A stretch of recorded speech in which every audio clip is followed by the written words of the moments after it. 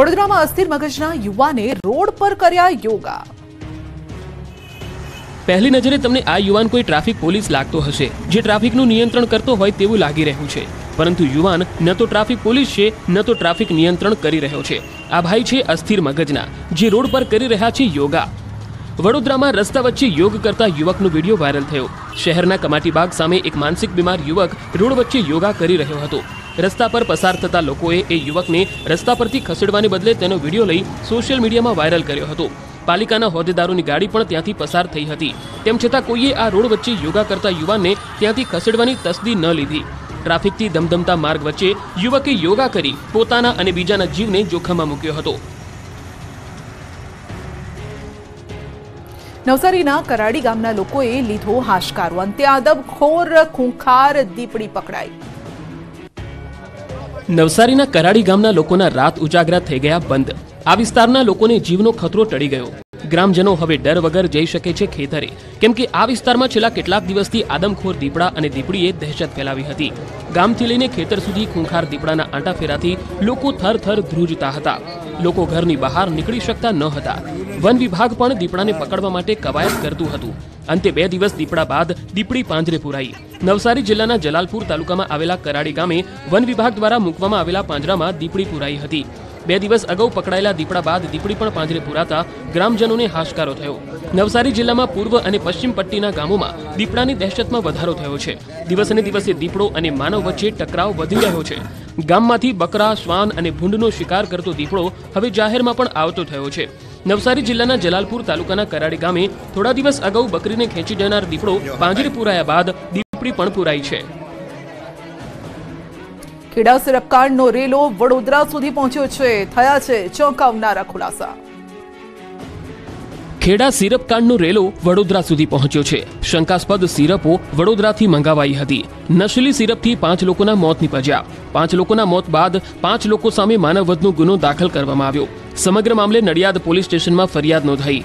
Kheda SOG PI અને rural police સ્ટેશનના in charge D N Chudasama ફરિયાદી બન્યા. નડિયાદના યોગેશભાઈ સિંધી, બિલોદરાના કિશોરભાઈ સોઢા, ઈશ્વરભાઈ સોઢા, વડોદરાના નીતિન કોટવાણી તથા ભાવેશ સેવકાણી સામે પોલીસે ફરિયાદ નોંધી. વડોદરાનો નીતિન અને ભાવેશ ગુનાહિત ઇતિહાસ ધરાવે છે. આયુર્વેદિક ઔષધિ તરીકે વપરાતી પ્રોડક્ટની ખોટા અને બનાવટી લેબલ લગાવી વેચાણ કરતા હતા. આ પહેલા પણ નીતિન ડુપ્લિકેટ સેનેટાઇઝરમાં ઝડપાયો હોવાનું સામે આવ્યું છે. જ્યારે યોગી સિંધી છેલ્લા કેટલાય સમયથી સમગ્ર જિલ્લામાં આ નેટવર્ક ચલાવતો હોવાનું પણ ખુલ્યું. બિલોદરાનો કિશોર અને તેના ભાઈ ઈશ્વરે દેવ દિવાળીના દિવસે ગામમાં વેચાણ માટે યોગી સિંધી પાસેથી આયુર્વેદિક કાલ મેઘાસવ નામની સો બોટલો મંગાવી ગામમાં વેચાણ કર્યું હતું. આરોપીને શંકાસ્પદ મોત થયાની જાણ થતાં આરોપીએ બાકી બોટલો વીણા ગામની સીમમાં આવેલ પોતાના ગોડાઉનની બહાર ખુલ્લી જગ્યામાં સળગાવી દીધી.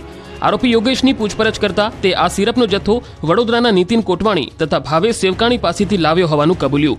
પોલીસે આરોપી યોગેશ સિંધુને સાથે રાખી સળગાવી દીધેલ બોટલોના અવશેષો તથા અન્ય મુદ્દામાલ કબજે કર્યા. સાથે અમદાવાદમાં સારવાર લઈ રહેલા દર્દીઓમાંથી પણ મિથાઇલ આલ્કોહોલનું પ્રમાણ મળ્યું. આરોપીઓને બોટલમાં મિથાઇલ આલ્કોહોલનું પ્રમાણ હોવાની જાણ હોવા છતાં જથ્થો મંગાવ્યો હોવાનો એફઆઈઆરમાં ઉલ્લેખ છે. સમગ્ર મામલે પોલીસે વધુ તપાસ હાથ ધરી છે.